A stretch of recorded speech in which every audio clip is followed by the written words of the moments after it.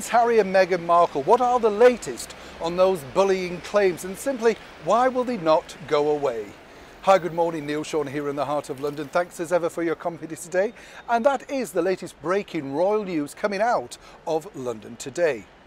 Now, as we know, Meghan Markle and Prince Harry have had, well, something of a checkered uh, stint since they decided to up sticks and move out to the United States of America.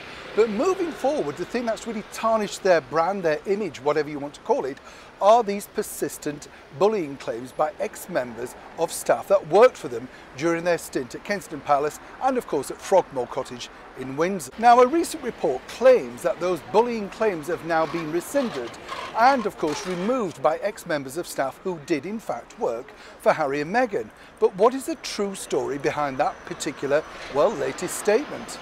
As we know, Her Majesty the Queen has brought in outside sources to look deeply into those bullying claims. And according to insiders, apparently Harry and Meghan were upset by this particular story or this particular line from Her Majesty the Queen, which basically said, of course, recollections may vary. But just to recap and let you know, where are we at with these bullying claims and have ex-members of staff now pulled back and decided they don't wish to proceed? Well, that's simply not true. In fact, these ex-members of staff have told me that they're pushing ahead and want to pursue exactly the truth, their truth, as Harry and Meghan are so keen to tell us, exactly what went on during their stint while working for the former ex-royals. But moving forward, there can be no winners on this particular story.